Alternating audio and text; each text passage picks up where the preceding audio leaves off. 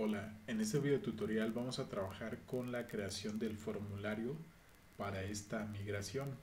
Recuerden que en el video anterior ya creamos la migración, el controlador, eh, obviamente también modificamos el modelo y las rutas. Pero bueno, eh, ¿cómo hacemos para que podamos guardar datos a través de un formulario haciendo referencia a esta migración?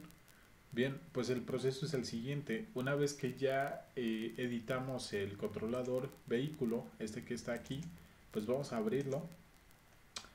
Y eh, recuerden que lo que hicimos fue crear una variable que va a almacenar todo lo que encuentre en la tabla vehículos y va a mostrar los datos ¿sí? a través de una variable llamada vehículos que vamos a importar dentro del archivo index.blade.php que es este.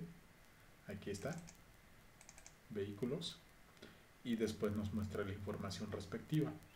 Bien, pues vamos a la siguiente función, la función de crear. Aquí, entonces hacemos lo siguiente. Vamos a retornar una vista y esa vista se va a encontrar en la eh, carpeta llamada vehículos punto create ¿sale? así como está pero esa vista todavía no la tenemos. Si vamos, por ejemplo, al navegador y abrimos eh, la pestaña, o sea, la ruta, y ponemos localhost 8000 y ponemos aquí en lugar de files ponemos colocamos vehículos pues nos tiene que mandar a un error 404 esto o posiblemente algo más eh, complicado que ahí nos dice que no encuentra la vista vehículos.create. ¿Y por qué no está? Pues porque no la hemos creado. Entonces el siguiente paso es dirigirnos a la vista que se llama, perdón, a la carpeta que se llama vehículos dentro de nuestra carpeta de vistas.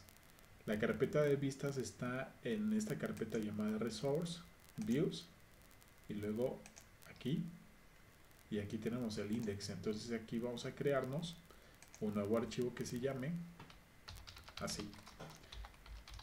Y le agregamos la, eh, la extensión correspondiente. Presionamos enter listo y lo que aparece es esto. Voy a poner aquí un h1 y voy a colocar formulario para crear un nuevo registro. Sale Guardamos los cambios, voy al navegador y cuando actualice ya debe mostrar esa información. Ahora le voy a agregar Bootstrap. Entonces me voy aquí al sitio oficial de Bootstrap.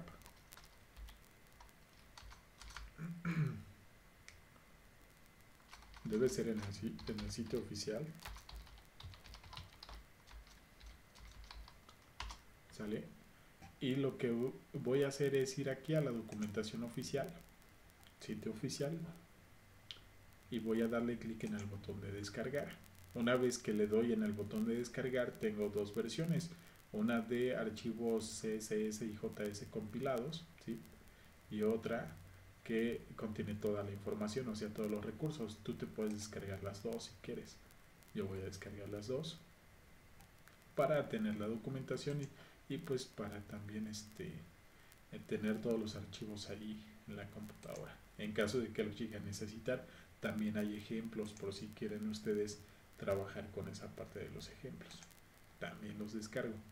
Ok, ahora una vez que ya tengamos el GitHub, perdón, el Bootstrap, lo que hay que hacer es ir a esta carpeta, esta que está aquí, yo la tengo en el escritorio según lo que alcancé a ver allí donde se, se fue a descargar. y lo que voy a hacer es eh, descomprimir esa carpeta que debe ser esta la que pesa menos 1.3 megabytes ahora lo que voy a hacer enseguida es ir a la carpeta donde está el proyecto ¿sale? entonces me voy aquí a la ubicación del proyecto dev carpeta carpeta proyecto y tengo una carpeta que se llama public esta de acá voy a pegar aquí ese archivo que copié el del bootstrap y vean que esta es la ruta, la que yo tengo. En tu caso también debes ir a la carpeta public que está dentro de tu proyecto. Voy a descomprimir aquí. Una vez que he descomprimido, lo que voy a ver son dos carpetas, una llamada CSS y otra llamada JS. Lo que haré enseguida es renombrar esta carpeta y le voy a colocar el nombre de assets. Listo. ¿Cuál es el siguiente paso? Bueno, para que el formulario se vea bonito, le voy a agregar un asset. Un asset es, esa, es ese código fuente o ese aditivo que va a hacer que se vea bonito. Entonces aquí voy a agregarlo a través de esta estructura en el href asset después especifico dónde está cómo se llama mi carpeta que está dentro de la carpeta public pues se llama assets. Después css y dentro del css voy a encontrar un archivo que se llama bootstrapme.css hacia ese voy a estar haciendo referencia. Entonces aquí voy a escribir assets css y después bootstrap.min.css. Guardamos los cambios, voy al navegador y cuando actualice esta página la letra ya debe verse redondeada. Eso quiere decir que ya eh, funciona. Ahora lo que voy a hacer es crear la estructura del formulario. Voy a escribir aquí un div.container. Y dentro de este div.container voy a agregar este h1. Aquí. Ahora, ¿qué es lo que voy a hacer? Voy a agregar una etiqueta de formulario. Listo. En el action voy a hacer referencia a la ruta que yo tengo en el o a la función que yo tengo en el controlador. El controlador es el de vehículo controller. Si lo abro, tengo que mandar esa información al store. Entonces la ruta es vehículos store. Voy aquí, pongo vehículos.store. ¿De dónde saco esto de vehículos.store? Pues del archivo de rutas. La forma en la que yo puedo entrar a cada una de las funciones del controlador es yendo por la ruta y después especificando la función, así como lo hemos hecho aquí. El método que vamos a utilizar es el método post, así en minúsculas, y listo. Ahora, ¿qué es lo que vamos a hacer? Dentro de este form vamos a ocupar eh, una estructura para que nos permita escribir nuestro formulario de manera correcta. Entonces voy a utilizar un div y dentro del div pongo un, eh, un label que es para escribir la etiqueta y después un input. Este input tiene que hacer referencia al tipo de eh, pues de dato que vamos a meter. Por ejemplo, aquí en, en, el módulo de perdón en el modelo de vehículo voy a solicitar la marca, modelo, color, el número de serie y todos los demás eh, campos. Si me voy a la migración, aquí puedo ver específicamente qué tipo de dato es el que yo voy a ingresar a la base de datos o a la tabla respectiva. Entonces, si estoy hablando de un string, el tipo de campo en el HTML debe ser de tipo eh, text. Entonces voy a agregar la marca. Voy aquí y comienzo. Para que esto sea más sencillo, puedo dividir esta pantalla en dos. Voy aquí a, a View, Editor Layout, dos columnas. Una vez que estoy aquí, pues bueno, voy a tomar mi modelo de vehículo, o mejor dicho, el de la migración, para tener un, un, este, un control más preciso. Voy a cerrar esto de acá y listo. Voy a minimizar este panel de archivos y lo que voy a hacer enseguida es comenzar a eh, estructurar comenzar a estructurar la forma de, este, de, de esta vista, que es un formulario. Entonces aquí en el label voy a pedir la marca. Entonces aquí pongo marca, dos puntos, y aquí abajo voy a escribir donde dice name, pongo el primer campo que me solicita, que es marca. El ID ese no se pide. En la función de crear no, solamente hasta la de actualizar. Después voy a poner un placeholder. El placeholder sirve para mostrar una pequeña ayuda para el usuario, o sea, para que él sepa qué es lo que debe ingresar allí. Bien, entonces voy a agregar aquí, voy a poner marca. Voy con la siguiente estructura y puedo copiar y pegar para que esto sea más sencillo. Ahora voy a acomodar el código, podemos, no sé, ir aquí, presionar tabulador hasta acomodarlo o se pueden instalar un, eh, un complemento para que se los eh, acomode por ustedes. Bien, entonces aquí voy a seguir acomodando esto y listo. Voy a pausar el video para agregar todos estos campos y enseguida los van a ver ustedes ya disponibles. En este momento ya agregué todos los nombres de los campos, pero bueno, también hay que ir modificando, por ejemplo, el, el label, que es la etiqueta que va a mostrarse, y también el, el placeholder. Entonces voy a modificar todavía eso. Ahora en este momento ya he finalizado con la inserción de, los, de las etiquetas y cada uno de los campos. Vamos a verificar ahora a qué tipo de campo corresponden. Por ejemplo, el primero que es la marca es uno de tipo text. Todos son text hasta la matrícula. Y cuando hablamos, por ejemplo, del número de puertas y de asientos que está aquí, justamente aquí, ya estamos hablando de un tipo de dato entero. Entonces aquí voy a cambiar a un number.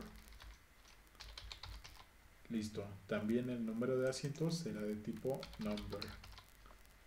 Eh, ¿Qué más sigue? Eh, por ejemplo, el kilometraje. El kilometraje también será de tipo number. Lo que va a suceder es que habilita un campo donde solamente se pueden ingresar números. Capacidad del cilindro, aquí también, number. Luego vamos con la descripción. Aquí ya cambia un poco porque estamos utilizando un text area. El text area lo que hace es recibir una descripción o mucho texto. Luego viene la parte del comentario, el comentario es de tipo text. Y por último aquí, por ejemplo, en, el, en la migración tenemos un campo que se llama disponible, pero ya se le asigna un valor por defecto que es 1. A los que ya se les asigna un valor por defecto los puedes omitir. Eso quiere decir que cuando se registre este automóvil, ya aparecerá allí en la base de datos como activo o como disponible. Y por último hemos agregado aquí un tipo de campo que se llama submit ¿sí? y que se convierte en un botón. Ahora vamos a empezar a agregar las clases. Aquí a este input le vamos a agregar la clase form control, que ya son clases del formulario, o sea, son especiales para, para eso. Voy a copiarlo, lo pego aquí y eso es lo que voy a hacer con cada una de estas o sí, que cada una de estas líneas de código que corresponden a los inputs. Incluso el text area que podemos ver más abajo también recibe la misma clase. No hay problema en ello. Sale vamos a agregarlo lo agregamos y aquí aquí vamos a agregar la clase al text area. Aquí agregamos este y ahora el botón el botón recibe otra clase. Vamos a agregar la clase btn btn prime. Que lo que hace es convertir este link o este input en un botón de tipo primario es decir un color azul. Esta es toda la estructura que tenemos hasta el momento. Voy a cerrar esto y listo. Tenemos un formulario que va a mandar toda la información que recoja cuando se le dé un clic al botón guardar sale de todos los campos que hemos agregado en este momento y lo que sigue es que los va a enviar a la función store a través del método post.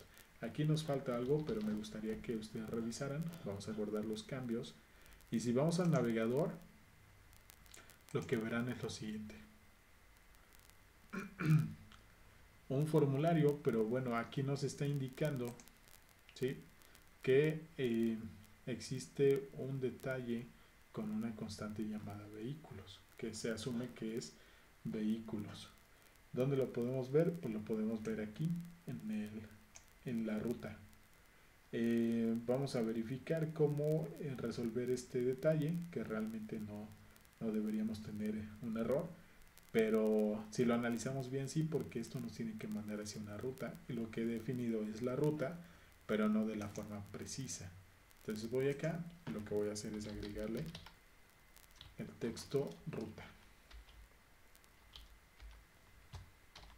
Guardamos los cambios, abrimos otra vez el formulario, actualizamos y esto es lo que vamos a ver enseguida. Vean que los campos que son de tipo texto, perdón, de tipo número, lo que van a hacer es que se habilita eh, un este pues un campo en el que puedes elegir el número ya sea yendo hacia arriba o hacia abajo. Eh, aquí por ejemplo vamos a agregar la marca y todo ello pero también tenemos otro detalle. Cuando le demos en guardar nos va a decir que la página ha expirado. Eso es porque no le estamos agregando seguridad. Vamos a agregar seguridad aquí y lo hacemos con un simple comando una etiqueta. Ponemos un arroba csrf con eso estamos eh, haciendo que nuestro sitio o nuestro formulario, mejor dicho, ya esté protegido. Guardamos los cambios, actualizamos y enseguida vamos a recargar el formulario. Vamos a continuar. ¿Y ahora qué ha sucedido? Sigue así como expirado. Bueno, vamos a actualizar. Le damos en guardar y listo. Ahora ya nos ha mandado a la vista. A la vista index, pero no hemos guardado nada. Si nos vamos aquí a la base de datos y hacemos la consulta respectiva, vamos a darle aquí, nos va a mandar el único registro que tenemos del video anterior. ¿Qué es lo que ha sucedido? Bueno, ha sucedido que no ha mandado nada, pero nos está mandando a la función controller, perdón, a la función store de nuestro controlador. Entonces lo que vamos a hacer ahora es pasar todos estos datos que hemos definido aquí a todos esos campos y pasarlos directamente hacia la función store de nuestro controlador vehículo controller. Entonces, eso sigue de esta manera. Vamos a borrar estas líneas de comentario y ponemos aquí una variable que se llame vehículo en singular. ¿Y qué es lo que va a tener? Bueno, lo que va a tener es todos los datos que estamos recabando a través del formulario a través de un request all. Una vez que hayamos hecho eso, lo que vamos a hacer es utilizar nuestro modelo que se llama vehículo, lo vamos a copiar y lo pegamos aquí. Ponemos cuatro puntos e invocamos a la instrucción insert. ¿Qué es lo que vamos a insertar? Vamos a insertar todo lo que guardemos en vehículo. Una vez que lo hemos insertado, ¿qué hacemos? Pues vamos a retornar una vista, que en este caso será la vista books, perdón, la vista eh, vehículos, ¿sí?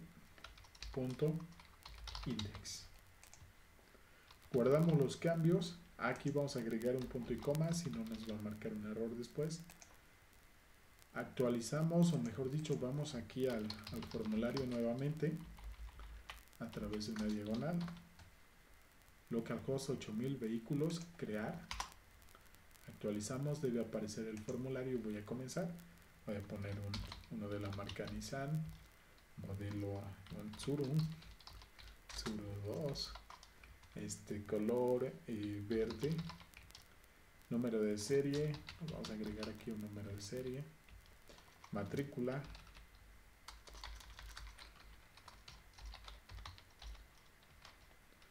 Eh, después agregamos el número de puertas cuatro puertas ¿sí? Eh, número de asientos cuatro asientos kilometraje vamos a colocar que tiene unos 120 mil kilómetros estoy hablando de autos usados cilindraje 4 y una descripción. Y después el comentario sí, comentario le damos en guardar Y bueno, aquí ya tenemos un detalle. Nos está diciendo que no encuentra la columna token en el campo lista. ¿Esto a qué se refiere? Pues se refiere a que en los nuevos registros ya de, eh, pues de, de Laravel, cuando los está trabajando ya la versión 8, agrega un token, ¿sale? ¿Qué es lo que vamos a hacer para resolver este detalle? Bueno, nos vamos aquí justamente a donde tenemos el, em, pues la función store y aquí vamos a cambiar en lugar de requerir todos los registros, pues vamos a omitir uno. ¿Cuál va a ser ese que vamos a omitir? Este campo, token. Vamos a seleccionarlo. Si no le sale no hay problema, pero en mi caso sí. Lo copio, voy al código fuente y voy a utilizar una cláusula llamada except. ¿Sale? O sea, voy a recolectar todos los datos excepto el que yo indique aquí, que va a ser el token. Guardo los cambios, regreso aquí al código, le doy en actualizar, le doy en continuar. Y ahora me indica que hay una variable no definida. ¿Cuál es esa variable no definida? La de vehículos. Que si está definida viene desde la desde el controlador, pero aquí no lo reconoce. Vamos a actualizar y listo. Y ya tenemos al Nissan Tzu 2. Considero que una forma de resolver esta situación de las variables que definimos acá es que la pasemos, por ejemplo, a, a español, obviamente sin, sin acento para que no haya problema. Y aquí lo que vamos a retornar es la misma variable vehículos paso al código fuente del index.blade.php y en lugar de vehicles voy a, recorrer el arreglo de vehículos. ¿Sale? Guardamos los cambios, actualizamos y pues en este momento ya no debería haber problema. ¿Qué es lo que voy a hacer ahora? Una vez que ya tengo pues agregada eh, la o agregado el archivo del index, perdón, del bootstrap, pues lo voy a agregar también en la pantalla del, este, del index aquí, ¿sale? Lo voy a hacer de la siguiente manera. Aquí voy a poner un link. Es link, así como está. Ah, ok. Si no, mejor me lo copio de aquí de la vista crear. Recuerden que aquí ya tenemos uno. Copiamos, vamos al index colocamos aquí y listo. Con esto ya debería funcionar. Vamos aquí al, a la vista actualizamos y ya se ve mejor. Bien hasta aquí este video